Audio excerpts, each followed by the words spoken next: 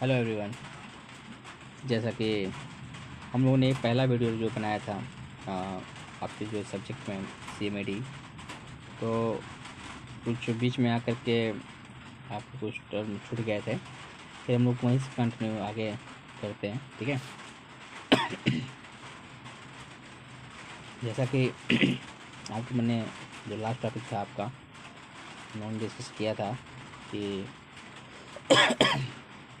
जो भी आपके इंडस्ट्री हैं है कंस्ट्रक्शन इंडस्ट्री हैं, उसमें जो रिसोर्सेज की जो नीडेड होती है, आवश्यकता होती है क्या क्या होती है, हमने आपको बस इतना ही बताया था कि आप इसमें कुछ याद मत रखिएगा, बस फाइव पी एम याद रखिएगा। अब कई बच्चों को ये लग रहा है वो फाइव पी एम क्या है एक्चुअली फाइव पी एम बस जो ट्री का जैसे मान लीजिए पूजी मनी निगम से मनी एम से मटेरियल, एम से मशीनरी, एम से मैन पावर और एम से मैनेजमेंट इन्हीं इन्हीं का जो जो एम एम जो मतलब हमने पोर्शन आई से रिमेंबर के लिए फिर इसको फाइव एम नाम दे दिया, ठीक है? इसको हमने क्या किया? फाइव एम नाम दे दिया। इससे क्या होता है कि आसानी हो जाएगी, ठीक है? फाइव एम जैसे याद आएगा, आप समझ जाओगे किस बात हो रही है मनी की बात हो रही है मटेरियल की बात हो रही है मैन पावर की बात हो रही है मशीनरी की बात हो रही है मैनेजमेंट की बात हो रही है, ठीक है?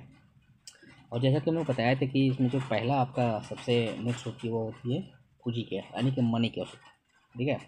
तो कोई भी परियोजना है, कोई भी परियोजना बना रहे हैं हम लोग प्रोजेक्ट बना रहे हैं, उस प्रोजेक्ट को बनाने में सर्वप्रथम आपको मैंने बताया था पिछले वाली वीडियो में, पिछले मैंने बताया था आपको कि उसमें क्या होता है, धन की आवश्यकता पड़ती है। ध्यान से सुनिएगा, उसमें क्या होता है, धन की आवश्यकता पड़ती है। बिना धन का आप जो समय पे जो कार्य होता है, समय समय पे, शायद मैं भी उसमें कहीं ना कहीं बाधाएँ क्रिएट होंगी। और कभी कभी ऐसा होता है कि जो कार्य होता है उसी चरण में क्या होता है, उसी स्टेज में क्या होता है, रुक जाता है। ठीक है? उसी स्टेज में क्या होता है, रुक जाता है। तो उसको हम फर्दर आगे मूव नहीं कर पाते हैं, काम को आगे नहीं बढ़ा पाते हैं। ठीक है? तो उस दौरान क्या होता है, जब ऐसी घटना घटती है तो आपके जो समय होते हैं, जो यूज़ किया गया समय था उस समय का, या फिर जो धन है, वो कहीं ना कहीं दोनों उस मतलब कंडीशन के लिए, उस डेट फोर्स उस डेट कंडीशन के लिए वो कहीं ना कहीं क्या होते हैं प्रॉब्लम क्रिएट कर जाते हैं, ठीक है? नुकसान जाते हैं, यानी कि व्यर्थ हो चले जाते हैं, ठीक है? तो पूंजी का प्रॉपर वे में उनको पूरा व्यवस्था कर लेनी चाहिए, कोई भी पूरी कंप्लीट स्टार्ट होने से पहले, ठीक है? ताकि उसमें अगर किसी भी स्टेज में पहुँचे तो किसी प्रकार का कोई प्रॉब्लम क्रिएट ना होने पाए, ठीक है? ओके अब आती है बात तो सामग्री का, ठीक है? आपके पास पूंजी है, लेकिन आप काम को बढ़ाना चाहते हो तो कहीं ना कहीं मटेरियल की तो आवश्यकता पड़ेगी ही पड़ेगी। आपने मटेरियल खरीद लिया मनी से, ठीक है? मनी से आपने क्या किया? मटेरियल को ख़रीदा। अगर ये मटेरियल ही नहीं रहेगा, ठीक है? तो तो भी तो दिक्कत है। मटेरियल आपके पास नहीं रहेगा। आपने मटेरियल को परचेज़ नहीं किया किसी चीज़ को बनाने के लिए प्रोजेक्ट बनाने के लिए तो अब अब इसी बात है कहीं ना कहीं फिर दिक्कत होगा। तो आपको ये ध्यान देने वाली बात होनी चाहिए कि जो हम, जहाँ भी हम कंस्ट्रक्शन का काम कर रहे होते हैं, किसी साइट पे काम कर रहे होते हैं, ठीक है, हम ये भरसक प्रयास करते हैं कि जो आपकी आवश्यक सामग्री हैं, वो वहाँ पे क्या हों, कम कम उपलब्ध हों, ध्यान से ठीक है? इस बात को समझने का प्रयास करिएगा कि जहाँ भी हमारा काम चल रहा होता है तो हम ये पृथक प्रयास करते हैं कि, प्रयास मेरा यही रहना चाहिए कि जो आपका सामग्री उपलब्ध है वहाँ पे तो ठीक है। ऐसा अगर नहीं होता है तो क्या होगा? अब इसी बात है, जब आपके जहाँ भी काम चल रहा होता है, अगर आप आपके पास मटेरियल नहीं रहेगा तो जो कार की प्रगति है वह नहीं बन सकती है। तो इस कार की प्रगति को बनाए रखने के लिए अब इसी बात है, हम क्या करते हैं यूज़ करते हैं। तो जो मटेरियल है, वो समय समय पे हम, हमको अवेलेबल होता रहे, ताकि किसी प्रकार की कोई दिक्कत नहीं होने पाए, ठीक है? क्लियर? और इस दौरान हमको थोड़ा सा परिवहन प्रणाली पे थोड़ा सा ध्यान देने की आवश्यकता होती है, ठीक है? ताकि किसी प्रकार कोई प्रॉब्लम ना आ पाए। है कि बहुत सारे ऐसे मटेरियल्स होते हैं जो एक्चुअली में कुछ दूरी पे से ही मंगाना होता है, ठीक है? तो उसके लिए हम क्या करते हैं ट्रांसपोर्टेशन सिस्टम को थोड़ा सा इसमें अपनाते हैं, ताकि हमारा जो मटेरियल हो समय समय पे साइट पे पहुँचता रहे और आपकी जो कार्य की प्रगति है वह बना रहे ठीक है? कार्य की प्रगति बना रहे क्लियर गाइस तो दो चीज़ें हमने समझा। पहला पूंजी, दूसरा सामग्री। यानी कि पहले एम का मतलब हो गया मनी दूसरे एम का मतलब हो गया सामग्री। अब बात आती है किसी तीसरे एम की, यानी कि जिसको बोलते हैं मशीनरी। यहाँ पे एम का मतलब मशीनरी। मशीनरी का मतलब जितने भी आपके औज़ार वगैरह यूज़ होते हैं, ठीक है? तो आपको पता ही है कि बड़े बड़े निर्माण कार्य आजकल हो रहे हैं। तो उनको करने के लिए आधुनिक ढंग के जितने भी मशीनें आजकल उपलब्ध हो जा रही हैं साइट पे, ठीक है, या छोटी, बड़ी जितनी भी मशीनें आपको आवश्यकता पड़ती हैं उसको अपने साइट पे होना ज़रूरी होता है, ठीक है। जैसे मान लीजिए एग्जांपल के तौर पे अगर हम ये कहना चाहें कि अगर कंक्रीट को मिक्स करना हो, ठीक है तो उसके लिए आप क्या कर सकते हो? कंक्रीट तैयार करने के लिए उसके लिए मशीन आप रख सकते हो ठीक है? या फिर कोई मिट्टी काटना हो ठीक है? या फिर मिट्टी को ढोना हो उठाना हो इस केस में भी आपको कहीं ना कहीं औज़ार की आवश्यकता या फिर जो मशीनरी है उसकी रिक्वायरमेंट पड़ जाती है ठीक है?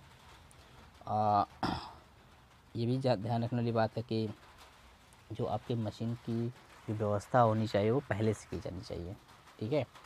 पहले से व्यवस्था हो जानी चाहिए ताकि हम जो काम, हमारा जो चल रहा है प्रोजेक्ट चल रहा है, उसमें किसी प्रकार की कोई बाधाएँ ना आनी पाए, ठीक है? उसमें किसी प्रकार की बाधाएँ ना आनी पाए। अब बात आती है कि आपके पास तो पूंजी हो गया, सामग्री भी आ गया और मशीनरी भी आ गया। तो अभी सी बात है कि आपका जो फोर्थ एम है, वो क्या कहना चाहता है? फोर्थ एम का मतलब होता है लेबर कह सकते हैं या मैन पावर कह सकते हैं, जिसको श्रमिक बोला जाता है, ठीक है? तो आपको पता है चाहे हस्त कार्य से करें आप कोई काम या फिर बड़े बड़े संयंत्रों से करें। ठीक है? तो होता है क्या कि इसमें हम बड़े बड़े प्रोजेक्ट पे देखते हैं कि बड़ी संख्या में हमें कुशल जो अनस्किल्ड या फिर स्किल्ड जो लेबर की आवश्यकता होती है, वो अभी से बातें पड़ती रहती है। ठीक है? भाई, जो भी प्रोजेक्ट काम करते हैं तो वहाँ पे स्किल्ड वर्कर भी रहते हैं और अनस्किल्ड भी रहते हैं। स्किल के साथ साथ अनस्किल्ड, दोनों लोगों का क्या होता है? इसमें अहम रोल होता है। ठीक है? किसी भी कंस्ट्रक्शन प्रोजेक्ट में, ठीक है? ओके और हमें प्रयास ये करना चाहिए कि जहाँ भी साइट वगैरह काम हो रहा होगा तो उसके निकट ही उनका वास हो, किनका? श्रमिक लोगों का, ठीक है? ताकि जो काम की जो, क्या बोलते हैं उसको कि निरंतरता है, निरंतरता वो बनी रहे, ठीक है? कंटिन्यूटी बनी रहे। किसी प्रकार कोई दिक्कत ना आने पाए। ये तो हो गया आपका भैया चौथे एम का मतलब। और सबसे लास्ट होता है आपका फाइव यानी कि सबसे लास्ट एम का मतलब होता है मैनेजमेंट जैसा कि हमने पहले वीडियो में देखा था कि मैनेजमेंट का क्या रोल होता है। आप लोगों को मैंने बताया था कि काम को एक, कितना एक संतोषपूर्ण तरीके से काम करा ले जा रहा है, प्रभावकारी प्रभावकारी तरीके से करा ले जा रहा है। ये सब क्या है? ये सब जो कला है, वही आपका मैनेजमेंट होता है। ये सब जो काम कराना है, ठीक है? तो हम कह सकते हैं कि जो आपका मैनेजमेंट होता है बेसिकली इसका एक बहुत इंपॉर्टेंट रोल होता है। जैसे कोई हम परियोजना स्टार्ट करते हैं, ठीक है? कोई भी हम परियोजना क्या करते हैं स्टार्ट करते हैं और उसको समापन तक पहुँचाने का जो आपका सुदृढ़ प्रबंधन होता है, ठीक है? वो बहुत ज़रूरी होता है और यह आवश्यक भी है, बिल्कुल आवश्यक है क्योंकि अगर मैनेजमेंट नहीं रहेगा तो इनिशियल टू फाइनल जो भी आपका वर्किंग कंडीशन चल रहा होता है, शायद में भी इसको उतना दिशा नहीं मिल पाता है, ठीक है? तो सही दिशा देना, ठीक है? उनको दिशा प्रदान करना बीच बीच में लोगों के बीच समन्वय स्थापित करना, ठीक है? और उनमें कह सकते हैं कि जो संतोषजनक प्रगति है, प्राप्त करना, ये सब क्या है? मैनेजमेंट ही है, ठीक है? सारे के सारे क्या है? मैनेजमेंट के ही वर्क हैं, ठीक है? तो हम ये कह सकते हैं कि बगैर मैनेजमेंट का निर्माण हम वो इफ़ेक्टिव तरीके से नहीं करा पाएँगे, ठीक है? तो अगर अपने काम में, अपने काम को इफ़ेक्टिव बनाना है और सारी चीज़ों का एक प्रॉपर वे यूटिलाइज हो और काम को संतोषपूर्ण तरीके से मतलब हम उसको करें तो कहीं ना कहीं हम ये कह सकते हैं कि इसका इम्पोर्टेंट रोल बढ़ जाता है किसी भी मैनेजमेंट का, ठीक है? तो इस फाइव एम को हमेशा याद रखिएगा। बहुत इंपॉर्टेंट क्वेश्चन है बनकर ही आता है और मैंने आपके ट्यूटोरियल में भी क्वेश्चन इसको ऑलरेडी मेंशन किया है, ठीक है? तो आप लोग यहाँ से ध्यान से देख सकते हैं, ठीक है? तो इस फाइव एम का मतलब आप लोग समझ गए होंगे। पहले एम का मतलब होता है पूंजी, दूसरे मतलब का होता है सामग्री, तीसरा होता है औज़ार चौथा होता है श्रमिक और होता है आपका प्रबंधन, ठीक है? एक बात आती है कि कंस्ट्रक्शन टीम क्या होता है, ठीक है? कंस्ट्रक्शन टीम क्या होता है? तो आपको पता है कि कोई भी काम सिंगल पर्सन से शायद नहीं हो पाए। आपको भी पता होगा कि कोई प्रोजेक्ट है तो सिंगल पर्सन शायद उतना इफ़ेक्टिव नहीं रहता है जितना कि वो जब किसी टीम के हाथ जब काम करता है। यानी नंबर ऑफ़ पीपल्स का होते हैं उसमें ज़्यादा होते हैं। ठीक है? तो कहने का मतलब है कि कोई भी प्रोजेक्ट को कंप्लीट करने के लिए क्या होता है कि अनेक व्यक्तियों की आवश्यकता पड़ती है। ठीक है?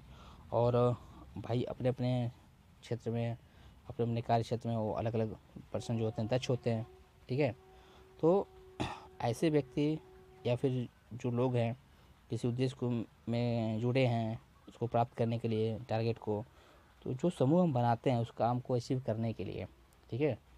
उस काम को अचीव करने के लिए। यहाँ पे काम के तौर पे अगर हम बात करें तो कोई प्रोजेक्ट को लेकर ही हम चल रहे हैं, मान लीजिए तो उसको अचीव करने के लिए जो आपका समूह है या जो निर्माण मंडली है उसी को हम लोग जनरली क्या बोलते हैं? कंस्ट्रक्शन टीम बोल देते हैं। ठीक है? कंस्ट्रक्शन टीम बोल देते हैं। तो कंस्ट्रक्शन टीम में मुख्यतः तीन व्यक्ति होते हैं। सामान्यतः जैसे देखा गया कि कंस्ट्रक्शन कोई टीम है, कोई निर्माण हो रहा है तो उसमें जनरली बेसिकली तीन होते हैं। पहला आपका जो होता है एक्चुअली ओनर मालिक जो होता है आपका। ठीक है? हमने यहाँ पे मेंशन भी किया है। ठीक है? मालिक होता है, स्वामी जिसको बोला जाता है ऑनर उसके बाद से आपके इंजीनियर्स होते हैं, ठीक है? आर्किटेक्ट होते हैं। उसके बाद से आपके कंट्रैक्टर होते हैं, ठीक है? तो आपको पता है कि मालिक का, इंजीनियर का और जो ठेकेदार होते हैं, इन तीनों का अपना अपना अलग अलग जिम्मेदारियाँ हैं, ठीक है? और एक दूसरे के प्रति उत्तरदायित्व भी हैं। लेकिन इन तीनों का लक्ष्य, टारगेट एक ही होता है कि जो हमारा परियोजना है, ठीक है? जो हमारा परियोजना है, वो निर्धारित समय में हो जाए। जो हमने टाइम डिसाइड किया कि हमको इतने समय में अपना प्रोजेक्ट को कंप्लीट करना है, उसके बारे में ज़रा सोचते हैं। और सबसे बड़ी बात है कि अपने काम में क्या करते हैं वर्क को इकोनॉमिकल बनाते हैं, ठीक है? इकोनॉमिकल का मतलब कि न्यूनतम लागत पे अपने काम को क्या करते हैं, उसको और न्यूनतम लागत पर गुणता बनाए रखते हुए उसको अचीव करना इन लोगों का काम होता है। किनका? मालिक का भी होता है इसमें योगदान होता है इंजीनियर का भी होता है और ठेकेदार का भी होता है। ठीक है? कि जो आपस में सूझबूझ है परस्पर जो सहयोग है, भावना है, ठीक है? और काम के प्रति जो निष्ठा है, ये सब निर्भर करती है। और ये कह सकते हैं कि कि इस दृष्टि से जितने भी आपके मालिक, इंजीनियर ठेकेदार हुए हैं, उनका अलग अलग काम हो सकता है। भाई, मालिक है तो कहीं ना कहीं आपसे क्या कर सकता है? जितने भी आपके वित्तीय जोखिम है, उसको उठाने का प्रयास करता है। ठीक है? और इंजीनियर्स क्या करते हैं? जो भी आपके कैकल सेप होते हैं किसी भी आ, मालिकों के प्रभाव प्रस्ताव को उनको व्यवहारिक रूप देता है ठीक है? और किसी भी परियोजना से संबंधित क्या करता है इंजीनियर्स आपका डिज़ाइन करता है प्लानिंग करता है इस्टीमेट तैयार करता है ठीक है? और जितने भी आपके डिफरेंट कह सकते हैं कि जो निर्माण की विशिष्टियाँ उसको बनाता है ठीक है? क्लियर है?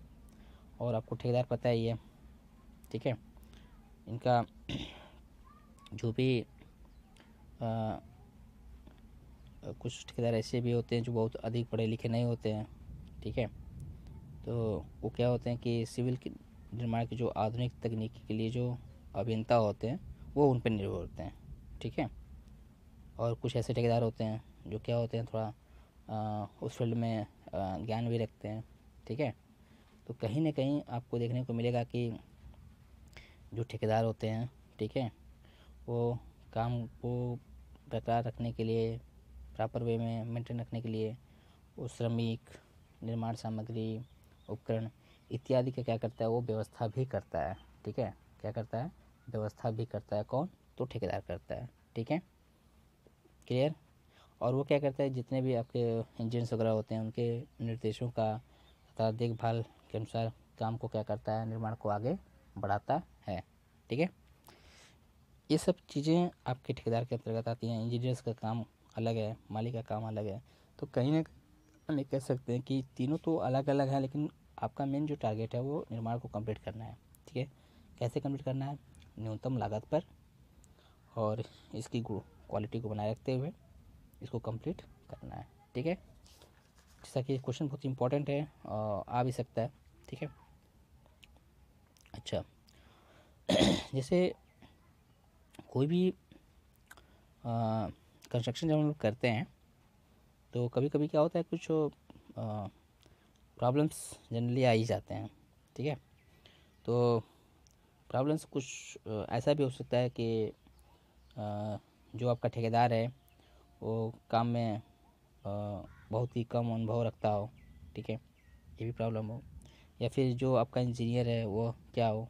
अव्यवहारिक हो, असक्षम हो, काम का जो नॉलेज हो, उसके पास ना हो तो मे भी सब बाधाएँ आ सकती हैं किसी भी ड्यूरिंग कंस्ट्रक्शन यानी कि निर्माण कार्य के दौरान, ठीक है?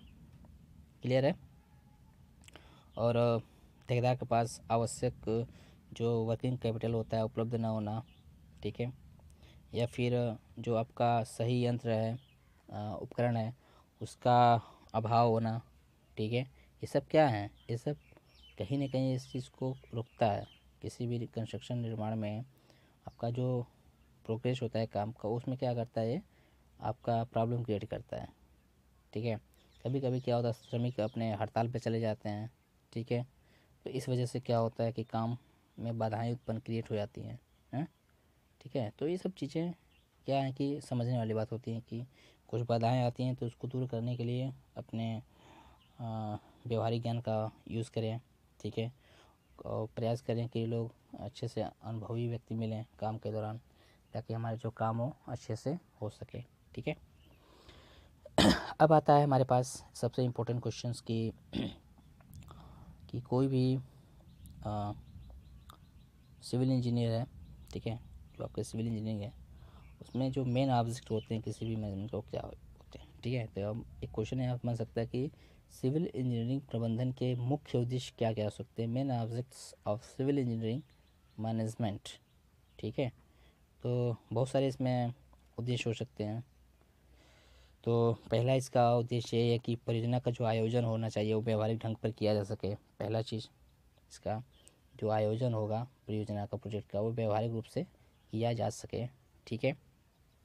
और जो भी आपका परियोजना बनेगा, वो क्या हो, मितव्ययी सिद्ध हो इकोनॉमिकल जिसको हम जनरली बोलते हैं, और जो हमने इस्टीमेट किया है, उस इस्टीमेट के भीतर ही संपन्न हो जाए और बेटर है ठीक है?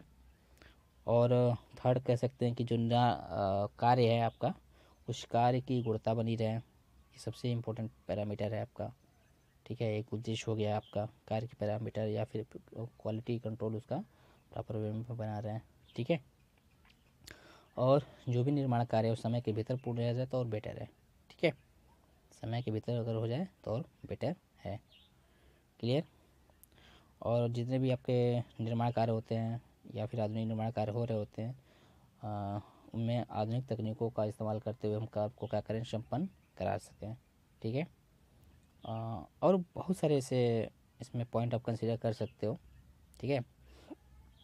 और आपको अगर जब इस तरह का क्वेश्चन मिलता है एग्ज़ाम में तो आप पॉइंट वाइज बना के लिखिएगा तो इससे नंबर अच्छे मिलते हैं ठीक है? तो बहुत सारे आपके ऑब्जेक्ट मिल सकते हैं किसी भी सिविल इंजीनियरिंग मैनेजमेंट के तो आप उस चीज़ से रिलेटेड लिख सकते हो ठीक है? क्लियर ओके अब सबसे बड़ी बात आती है इम्पोर्टेंट क्वेश्चन बन कर आता है आपके पास आ, कि किसी भी कंस्ट्रक्शन मैनेजमेंट का क्या क्या फ़ंक्शन हो सकता है ठीक है? जो प्रकार होते हैं आपके किसी भी कंस्ट्रक्शन मैनेजमेंट के, वो क्या क्या हो सकते हैं। तो इसमें बेसिकली काफ़ी टर्म है। जैसे मैं आपको बता दूँ कि इन सबको कंप्लीट करने के लिए निम्न चीज़ों की आवश्यकता पड़ती है। जैसे प्लानिंग हो सकता है ऑर्गेनाइजेशन होगा ऑर्गेनाइजिंग यानी कि उसको संगठन बोलते हैं। नियुक्तियाँ जिसको स्टाफिंग बोलते हैं और निर्देशन डायरेक्टिंग बोलते हैं अभिप्रेरणा मतलब मोटिवेटिंग कंट्रोलिंग ठीक है कोऑर्डिनेटिंग एंड देन कम्युनिकेशन ये सब चीज़ों का होना बहुत ही ज़रूरी होता है, ठीक है? तो कोई भी निर्माण प्रबंधन का उद्देश्य आपको समझ में आ गया होगा कि कोई भी निर्माण का, जो निर्माण प्रबंधन का उद्देश्य होना चाहिए वह ये होना चाहिए कि हम उपलब्ध संसाधनों जो भी आपके पास संसाधन उपलब्ध हैं, उसको न्यूनतम व्यय पर हम क्या करें? अपना काम को आगे बढ़ाएँ, ठीक है? और निर्धारित समय के भीतर, निर्धारित समय के भीतर क्या करें? उसको करने का प्रयास करें, ठीक है? और कार्य को एक संतोषपूर्ण ढंग से काम करें, ठीक है? जिसकी समस्त जिम्मेदारियाँ अभी सी बात इसके प्रबंधक पे आती है, मैनेजर पे आती हैं, ठीक है? तो इनकी उद्देश्यों की पूर्ति के लिए हम बहुत सारे फ़ंक्शन हैं, उनको हम क्या करते हैं स्टडी करते हैं और आपके एग्ज़ाम में ये क्वेश्चन पूछने के चांसेस यहाँ बन जाते हैं। या तो फिर ऐसे क्वेश्चन पूछ सकता है कि आपके जो निर्माण प्रबंधन के फ़ंक्शन होते हैं, वो क्या क्या होते हैं, आप इसको बता दीजिए। तो पूरे पॉइंट को कंसिडर करिए थोड़ा थोड़ा बताइए। या फिर कभी कभी क्वेश्चन में बोलेगा कि write short note on that जो भी आपका टॉपिक रहेगा, जैसे प्लानिंग है तो प्लानिंग पूछ लेगा। ठीक है? ऐसा पूछा है एग्ज़ाम में, पूछा भी है इस तरह का, ठीक है? कि कंट्रोलिंग क्या होता है, ठीक है? इसमें जो जैसा कि हमने बताया कि जिसका फ़ंक्शन होता है वह कुछ इस प्रकार है कि आयोजन और संगठन, नियुक्तियाँ, निर्देशन क्या होता है, अभिप्रेरणा, नियंत्रण, समन्वयन, संप्रेषण, ठीक है? ये सब चीज़ें होती हैं। तो कहने का मतलब मेरा ये कि अगर आप एक क्वेश्चन को इस तरह पढ़ भी ले आते हैं तो अगर इससे क्वेश्चन बनता है टिप्पणी लिखने के लिए तो आप वहाँ से भी लिख सकते हो आसानी से, ठीक है? तो सबसे पहले बात आती है कि आयोजन, जिसको हम लोग जनरली प्लानिंग बोलते हैं, ठीक है? यहाँ पे हम लोग मेंशन किए हैं नोट्स में, ध्यान से देखिएगा। तो प्लानिंग का मतलब क्या होता है? बताइए। कोई भी आयोजन हम करते हैं तो क्या सोच कर करते हैं कि कोई काम क्या कैसे कैसे करना है, ठीक है? क्या करना है, कब करना है, कैसे करना है? इसका निर्णय लेना, ठीक है? इसका निर्णय लेना क्या कहलाता है? भाई आयोजन कहलाता है। ठीक है? तो हमें कह सकते हैं कि जो आपका मैनेजमेंट होता है, उसमें सबसे महत्वपूर्ण जो इसका फ़ंक्शन होता है परियोजना का, वो आयोजन ही होता है। ठीक है? और मैं बता दूँ आपको कि जो आयोजन होना चाहिए, वो स्पष्ट होना चाहिए। ठीक है? जो आपका परियोजना बना रहे हो, आयोजन कर रहे हो, वो क्या होना चाहिए? स्पष्ट होना। बनाने से पहले लक्ष्य स्पष्ट होने चाहिए। इस चीज़ को ध्यान में आपको रखना है। ठीक है? क्लियर कोई दिक्कत नहीं आनी चाहिए। ठीक है? आगे बढ़े। क्या करना है, कब करना है और कैसे करना है? इसका निर्णय लेना है। अभी इसी बात है, क्या कहलाता है? प्लानिंग कहलाता है। और मैंने बताया कि जो आपका किसी भी मैनेजमेंट के लिए जो आपका परियोजना होता है, परियोजना का जो आयोजन होता है, बहुत ही इंपॉर्टेंट होता है। और ये स्पष्ट भी होना चाहिए। ठीक है? क्लियर तो भाई इससे क्या होता है कि जब हम कोई काम करते हैं, कितने सामग्री की आवश्यकता पड़ रही है, कितने श्रमिकों की आवश्यकता पड़ेगी, कितने कर्मचारियों की आवश्यकता पड़ेगी, ठीक है? कौन कौन से यंत्र, संयंत्र उपयोगी में रहेंगे, इन सब बातों को बहुत ज़्यादा विचार करना पड़ता है। किस केस में? इन केस ऑफ़ प्लानिंग, ठीक है? In case of planning. अब बात आती है सेकेंड आपका ऑर्गेनाइजेशन तो इससे क्या मतलब होता है, बताइए। संगठन से क्या समझते हैं? बताइए संगठन का क्या मतलब होता है? संगठन, जिसको ऑर्गेनाइजिंग बोलते हैं, बताइए।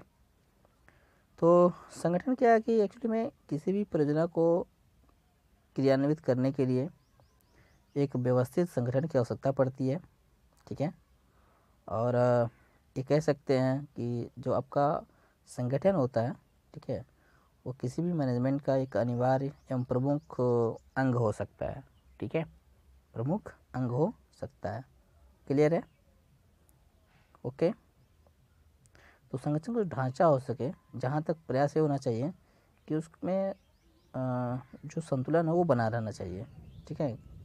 संतुलन जो है वो आपको बना होना चाहिए ताकि किसी प्रकार को कोई दिक्कत ना हो। ठीक है? ओके ओके तो ये चीज़ पता चल गया होगा कि संगठन क्या होता है। तो किसी भी परियोजना को कार्यान्वित करने के लिए एक व्यवस्थित संगठन की आवश्यकता पड़ती है। ठीक है? और मैं बता दूँ आपको कि जो आपका संगठन होता है, किसी भी मैनेजमेंट का अनिवार्य एवं प्रमुख अंग भी होता है। ठीक है? किसी भी संगठन के लिए, ठीक है? किसी भी संगठन का जो मैनेजमेंट होते हैं, उस मैनेजमेंट के लिए एक प्रमुख अंग भी होता है। कौन? तो संगठन। ठीक है? अब बात आती है संगठन के पास आती है बात नियुक्तियाँ। नियुक्तियाँ का क्या मतलब होता है? बताइए। तो जैसा आपको पता है कि कोई भी हम प्रोजेक्ट जब स्टार्ट करते हैं तो कहीं ना कहीं उस काम को करने के लिए अलग अलग श्रेणियों के लोगों की आवश्यकता पड़ती है। अलग अलग श्रेणियों के कर्मचारियों की आवश्यकता पड़ती है ठीक है? उनके लिए उनके आवश्यक संख्या में उनको नियुक्त भी किए जाते हैं ठीक है? ताकि किसी प्रकार की कोई दिक्कत ना होने पाए। और प्रयास ये करना चाहिए कि हम कभी भी जब आ, लोगों को सेलेक्ट करें तो ऐसे सेलेक्ट करें जिससे वो अपने काम में सुयोग्य हो, सक्षम हो, ठीक है? ईमानदार हो, ठीक है? कर्मनिष्ठ हो। अगर किसी भी ऑर्गेनाइजेशन में, अगर कुछ संगठन में ऐसे लोग मिल जाते हैं तो अब सी बात है, उस संगठन में क्या होते हैं? लोग काम में मन ज़्यादा लगने लगता है, ठीक है? काम की जो शैली है वो बदल जाती है। जबकि आपको पता है कि जो आलसी होते हैं, सुस्त होते हैं, ठीक है, अयोग्य होते हैं, उनके लिए क्या होता है थोड़ा थोड़ा ऑर्गेनाइजेशन क्या होता है, थोड़ा बोझ सा महसूस करने लगता है, ठीक है? और प्रबंधकों की जो परेशानी का एक सबसे बड़ा कारण भी बनता है कि लोग आलसी लोग आ जाते हैं काम करने, ठीक है, नियुक्त हो जाते हैं, या फिर सुस्त लोग आ जाते हैं, अयोग्य लोग आ जाते हैं, ठीक है? और इस नियुक्तियों में एक चीज़ सबसे बड़ी इम्पोर्टेंट चीज़ है कि समय समय पे जो कर्मचारी हैं, ठीक है या फिर जो श्रमिक हैं, उनके कार्य का मूल्यांकन भी करते रहना चाहिए, ठीक है? और हो सके तो प्रोत्साहन एवं प्रमोशन के अवसर भी देते रहना चाहिए, ठीक है? तो ये सब है, ठीक है? और जहाँ लगे कि सुधार करना चाहिए, आप वहाँ सुधार करिए और मौका दीजिए कि सामने वाले को किसी काम में प्रॉब्लम हो रहा है तो उसको मौका दीजिए सुधरने का। ताकि वो काम में इम्प्रूव कर सके और आके कभी ऐसा गलती ना करे। ठीक है? सब चीज़ें हैं बेसिक उसके बाद आता है आपका चौथा डायरेक्टिंग डायरेक्टिंग का मतलब क्या होता है? निर्देशन। बताइए। तो मैं बता दूँ, जैसे जितने भी आपके कर्मचारी लोग होते हैं तो उनसे प्रभावी ढंग से काम लेने के लिए उन्हें समुचित दिशा में स्पष्ट निर्देश देना होता है। ठीक है? जिससे होता क्या है कि आपकी जितनी भी कठिनाइयाँ होती हैं, वो दूर हो जाती हैं। और ये पता होना चाहिए, जो श्रमिक काम कर रहे होते हैं, कि एक्चुअली में उसने करना क्या है, ठीक है, क्या करना है, कैसे करना है और कब करना है। इसके लिए प्रबंधक से हम स्पष्ट मार्गदर्शन भी चाहते हैं, ठीक है? तो ये सब हो सकता है। क्लियर? क्लियर है? ओके। तो और निर्देशन में भी हम लोग जनरली देखते हैं कि जो कर्मचारी होते हैं, उनमें, उनके अंदर हम क्या करते हैं कि जो टीम की भावना उत्पन्न कर सकते हैं तो कर सकते हैं तो बेटर है, ठीक है? इससे क्या होता है, कार्य के प्रति जो प्रेरणा मिलती है काम करने की, वो मिलती है, ठीक है? हाँ तो ये सब चौथा पॉइंट आपका कंसिडर हो गया, आपका निर्देशन। उसके बाद से आता है आपका नियुक्तियाँ के बाद सबका निर्देशन निर्देशन अभिप्रेरणा। अभिप्रेरणा का मतलब क्या होता है, बताइए? बताइए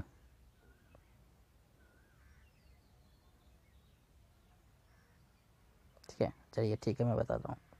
जैसे होता है क्या कि जो भी आपके हम कोई भी काम कर रहे हैं उद्देश्य की पूर्ति कर रहे हैं उसके लिए कर्मचारियों को चुस्ती दुरुस्ती परिश्रम निष्ठा तथा लगन से जो भी कार्य करने की जो भी प्रेरित होता है उसको करना चाहिए। ऐसा करने से क्या होता है कि जो सामने वाला होता है अपने काम में मन से काम करने में अपने समय देता है। हम्म, और कभी कभी हम ये भी देखते हैं कि समय समय उनको हम क्या करना चाहिए कि उत्तम कार्य के लिए कभी कभी उनको क्या करना चाहिए? अलग से उनके लिए व्यवस्था करना चाहिए, ताकि वो काम में मन लगाए और अपने जो काम है उसको आगे बढ़ाएँ, अच्छे तरीके से। ठीक है? क्लियर है? क्लियर है? ओके तो ये सब मोटिवेशन का जो आवश्यकता पड़ जाती है तो कभी कभी श्रमिकों को या फिर जो भी कर्मचारी हैं, उनको मोटिवेट किया जाता है कि आप ऐसे नहीं, ऐसे काम करो तो मैं आपके लिए कुछ सोचता हूँ। तो ये सब चीज़ें होती हैं, ठीक है? क्लियर है?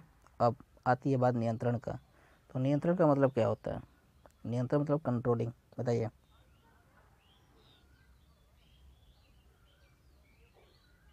तो आपको पता ही है कि कोई भी प्रोजेक्ट बन रहा है हमारे पास, बना रहे हैं तो हम क्या करते हैं कि एक समयबद्ध तरीके से या समयबद्ध कार्यक्रम में, ठीक है, के अनुसार हम क्या करते हैं, उस काम को प्रभावी तरीके से नियंत्रण रखते हैं, ताकि हमारा जो काम हो, वो अच्छे से होता रहे, ठीक है? कोई प्रकार की दिक्कतें ना आनी पाए, ठीक है?